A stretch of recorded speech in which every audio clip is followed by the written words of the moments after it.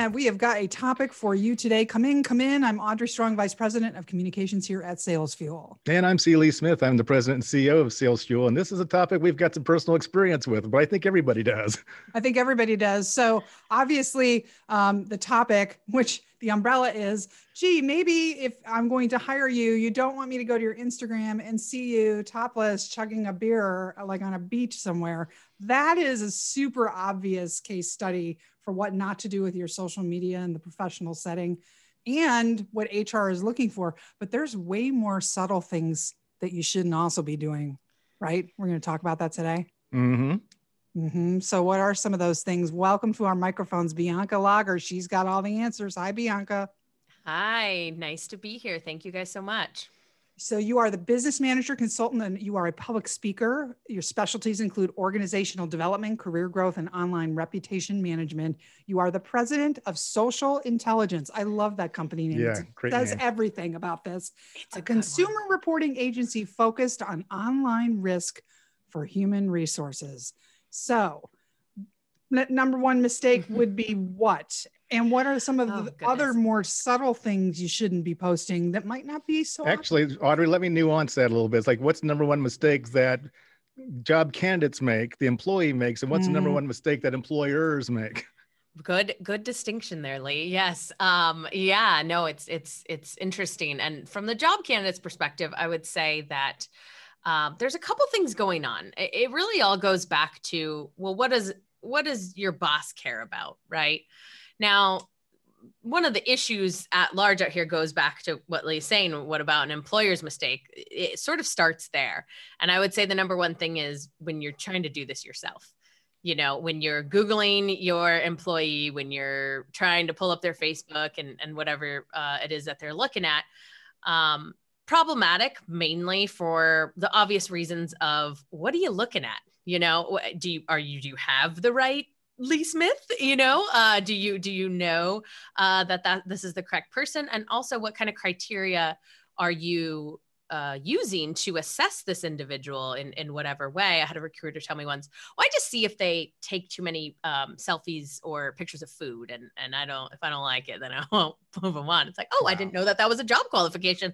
Um, you know, it, but you know, we're human, there's bias there's, so there's uh, the bias is, you know, all sorts of levels there from innocuous that you know still matters and uh, stuff that is protected class information that matters you know significantly.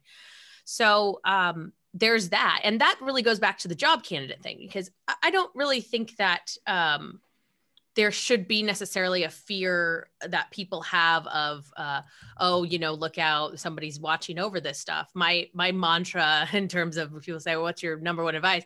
Be kind online right? If you're if you're treating other people with respect then you don't have a problem. Um, generally speaking right? Now you know is it unfair if your boss looks at your social media because they can judge you on all those other things? Certainly.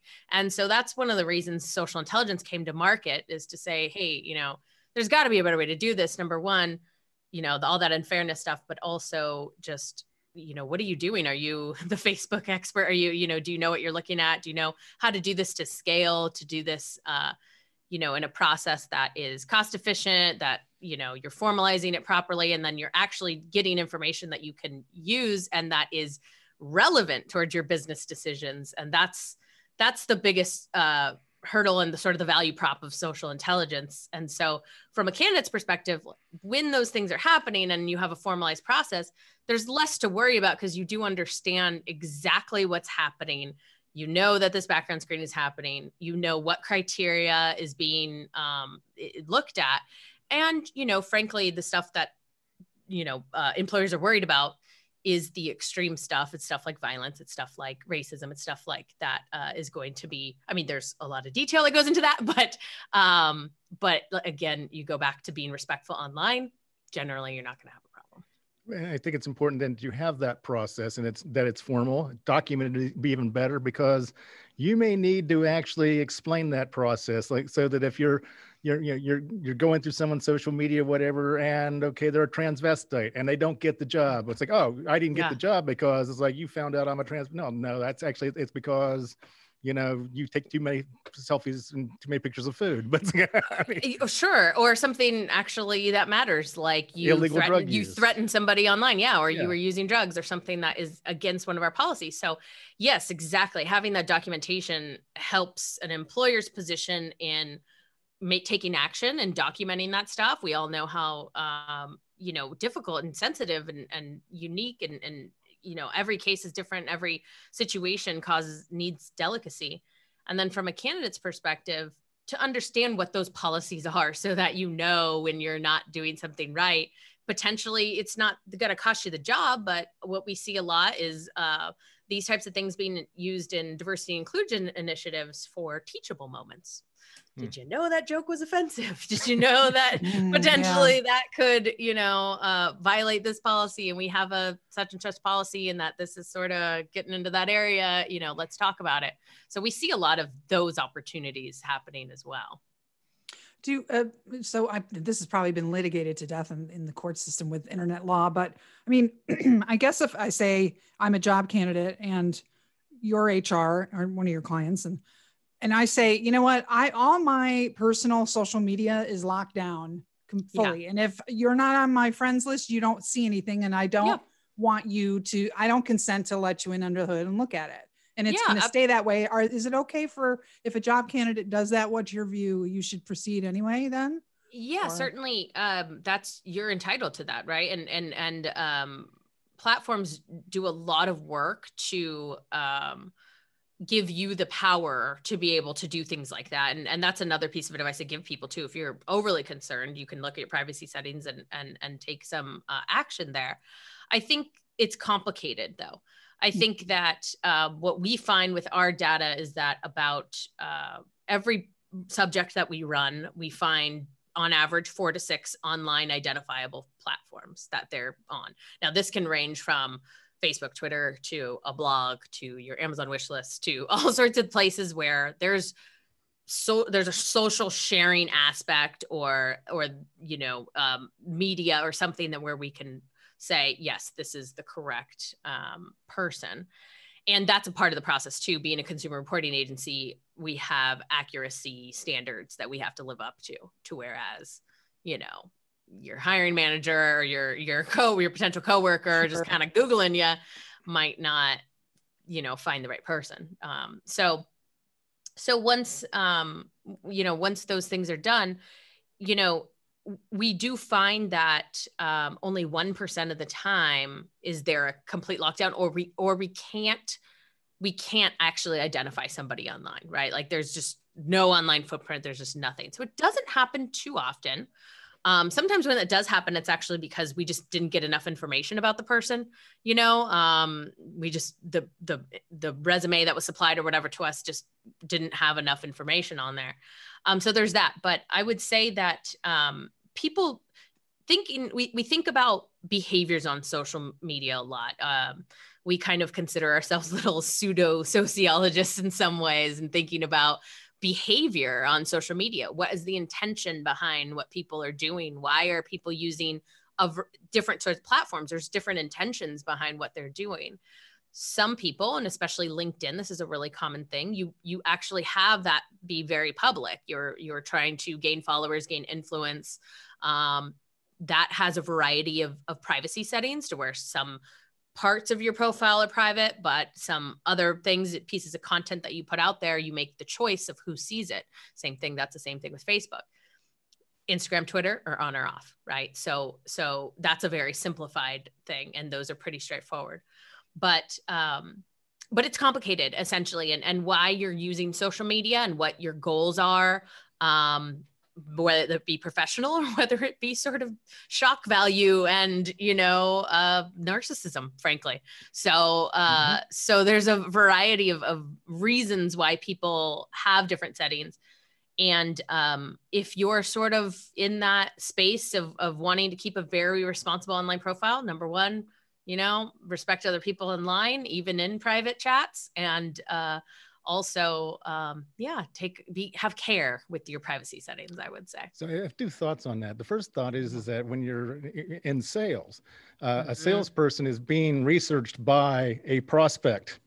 by 57% of Mhm. them before that prospect will, will take a meeting Yep. with the salesperson. If they Yes. can't find you, if they can't find you on LinkedIn or something like that, that raises a little bit of suspicion you know, in that regard. In fact, okay, how can I can't find you anywhere? Who is this person or whatever? Is this person really who they say they are? Yeah, and so that that raises a little bit of a, red flag there. Wouldn't you think? Yes, and that's a that's a really good point because I think client facing roles this is where sometimes pressure comes onto companies, right? So let's play that scenario out and you do find the salesperson and oh my goodness, they tweeted that. Um there is this outside pressure that's very unique. You know, anytime you do a background screen and we operate within the background screening world. So these um s- social media background screens go in line with criminal background checks and all those kinds of stuff. It, it, that's where it happens in the process. All the same compliance stuff applies. So, um, you know, basically, when you think about it, having uh, a background check being done is about risk. You know, you're trying to assess safety and negligence and all this kind of stuff. But with social media, there is this element of public pressure and that idea of, are you living up to your standards? You hired that guy. I Googled him and found this so quick Mhm. you know how how did you not you know do that so to you know to that same point Lee i think that like yes client facers do sort of have to have a sort of professional representation that is public and um, there's a variety of reasons your role might require that all the more reason why at every level of the organization these things can be exposed really quickly and easily. And i think that that's a pretty you know i think any listener who's you know been, been involved been a been a boss been even involved in work you know one of the things i say all the time that i heard from a client is it happened online and ended up in the workplace or it started in the workplace and ended up online it's Mhm. just like it's it's involved like it's happening and it's here everyone has cameras and everyone has the ability to take a screenshot. So if you think Yep. you're having a private conversation, if someone finds Mhm. it offensive or whatever, all of a sudden it become unprivate pretty soon.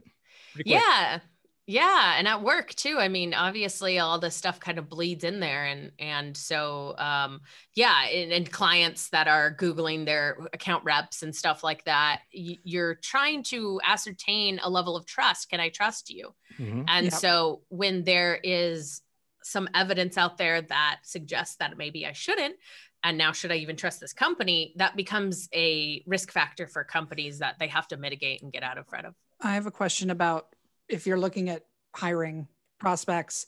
Um, is it an immediate uh, exclusion?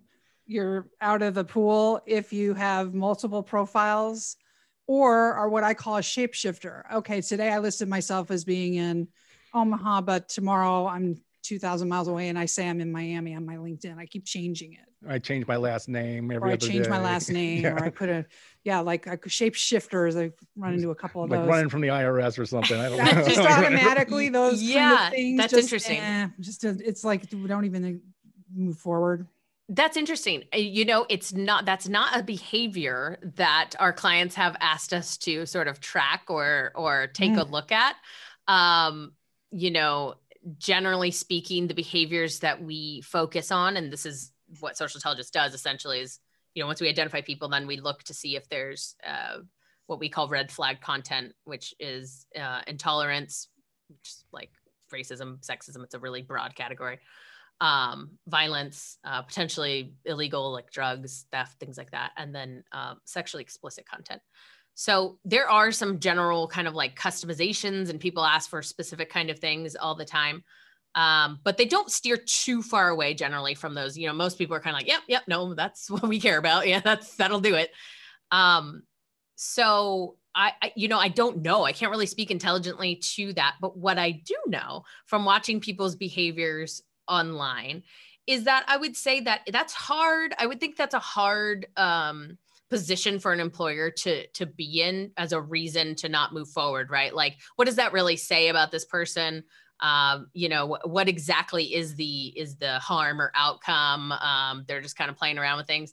Could it could indicate like some sort of red flag, but another motivation that people have for social media screening is to sort of document keep your eye on it maybe later right like these are things that are like hmm you know maybe i'll i'll keep my eye on if this you're the employer and you choose another candidate, do you admit to that candidate or whatever that it was something that you found about them online or not?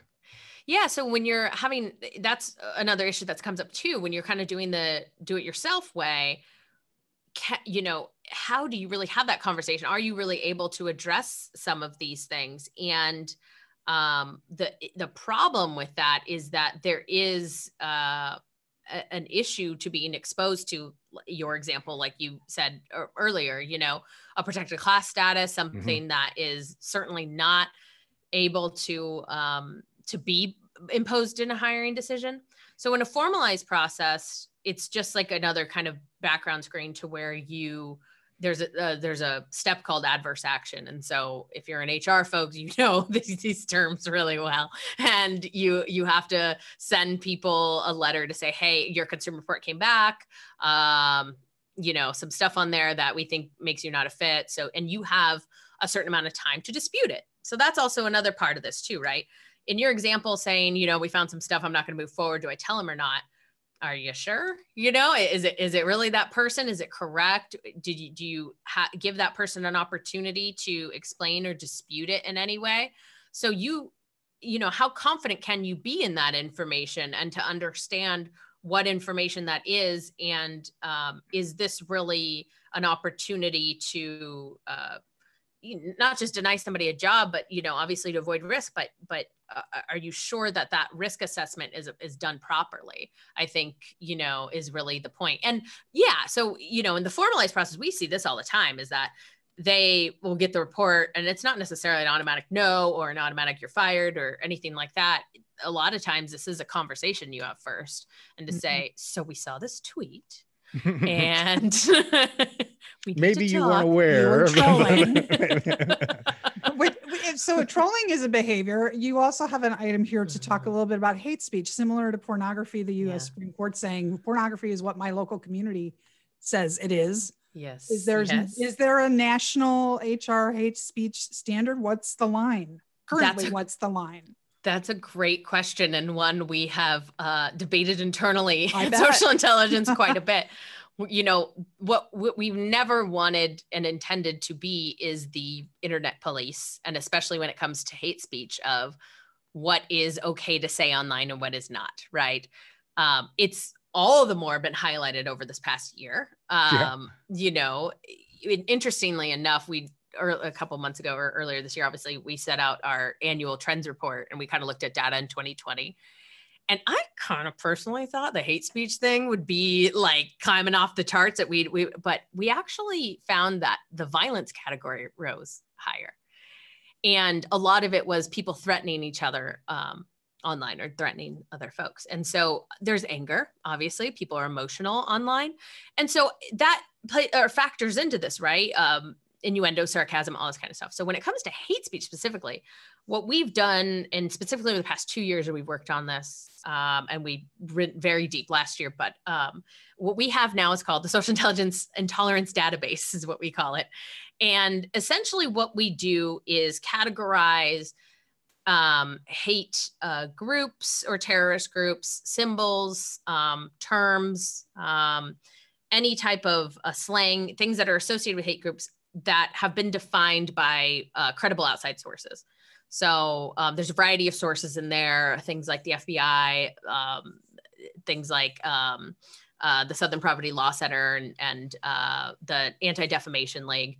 And a couple other sources that we try to pull from as much as possible with whatever public information is out there. And so when we are flagging hate speech and say, you know, this is potentially, and you know, obviously legal disclaimer here, we're we're saying everything is potential. You know, we're we're definitely giving people the opportunity to dispute it and, and everything, but we're saying, hey, this is potentially uh, a red flag. Um, this is why this is the definition that we have. Here's the source right? Who says that this could be problematic or whatever it is. So you know we're really trying to remove our own judgment on it and coming back to does this match up with the criteria um, that we've defined? Makes because sense. it's very messy. And it's intense. I mean you're talking like 380 something groups and you know 400 terms and i mean it's a lot of information and so we obviously use technology and then a series of human review process to make sure that those things the, are accurate the level of tolerance for diverse points of view uh, in social media I, I, believe is probably what's been you know, taking the biggest hit over the mm-hmm. past year, two years, four years, however far back you want to go. Um, and I'm, I'm, seeing people doxing each other. I'm seeing, mm-hmm. uh, you know, if you disagree with somebody on a, on, a, on a political, you know, bill or something like that, you get banished and blocked and then all their friends block you and mm-hmm. everything like that. It hasn't happened to me, but like, you know, I, I have friends where it's happened to and uh, both sides, by the way. Uh, yep. Oh yeah. Uh, yeah. It's it's it's a it's it's intense. What do you do for your clients? Place. Well, so and this is going to be my last. We're almost out of time, but my last my last question is: so this cultural divide we're in. Mm-hmm.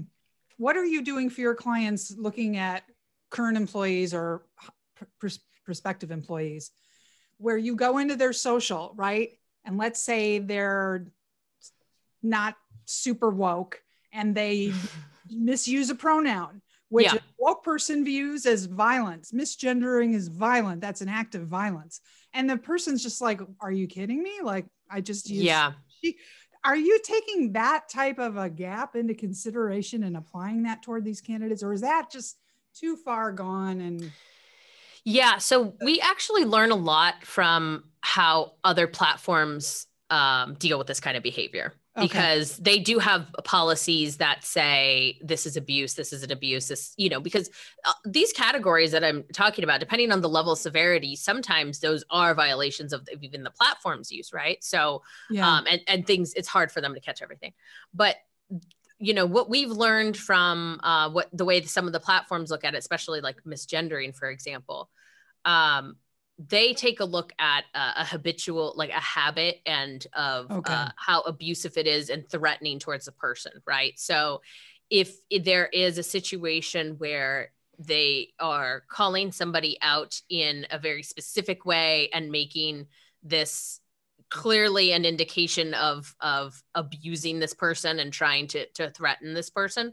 Likely it would probably fall more into a violent category if it was if it was mm. uh, it, it, really depends on i mean there's so many nuances right? Like human language is complicated so it really would depend on now right? Is that how you pronounce it? Xe is a pronoun g. Right and so i mean i think i think those aren't the types of things that necessarily are um, you know an unintentional slips or or or sort of saying things that aren't um, exactly correct aren't things that employers are even super concerned about. Because to your point i mean that can happen. Somebody in the comments down the line can say hey actually you know it's it's it's they them or, or whatever it is. And so um, somebody might go, oops, sorry. You know what I mean? And so, I mean, uh, you know, or maybe they won't comment on it, but maybe that's what they think. So it's very difficult unless there's actually a, a repeated uh, pattern and um, it, le- uh, lends itself towards abuse towards a particular individual. Makes sense. Employers like to hire human beings. So if, yeah. there's like, if you can make one slip up on social media and feel and get disqualified for it, you're probably better off for it. Yeah, exactly. That's not generally what our clients are doing, Hugh. Yeah. And as a matter of fact, mm. they work very hard with us to be like, okay, I never gonna care about this, like sports trash talking, right? Like, I'm gonna kill, we're gonna kill the Patriots this weekend here or something like that. Like, you don't care about that, You're right? Like, you know, that's not the point. So, you know, might even get you the job in some parts of the country. yeah, Boston or no, not Boston. Yeah, Boston for uh, sure. Yeah. yeah. yeah. um. So, uh. So yeah, exactly. It, it it's it's they're they're like don't send me stuff like this. You know like it's it's yeah. it's it's trying to whittle it down um and what we do work very hard at is to make sure that we're putting context and timestamps on it. So we say when this is was it a reshare? Was it an original post? Was it something you you liked or followed? Um, putting it into context and then indicating whether this is a pattern of behavior or whether this was a needle and haystack one-off kind of thing mm-hmm. situation. It's very important to to to say that. So just because something comes up in the report, it doesn't necessarily mean that it's going to be an issue. Well, For my last mm-hmm. question, mm-hmm. I want to tell you that my company, Sales Fuel, has a yeah. survey in the field right now, a Voice of the Buyer, where we survey. We we do this every couple of years. We survey small business owners and purchasing agents at larger companies. Yeah. And one of the questions that we ask is, what information found online would keep you from taking a call or meeting with a salesperson?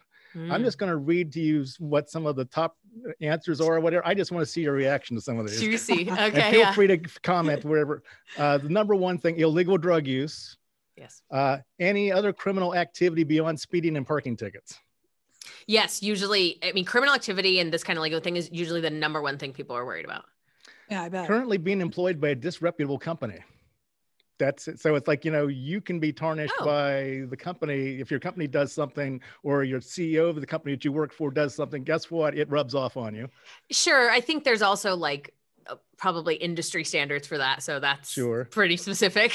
I was surprised this one was this high. Uh, drunkenness, Public, You know- public public intoxication. Yeah.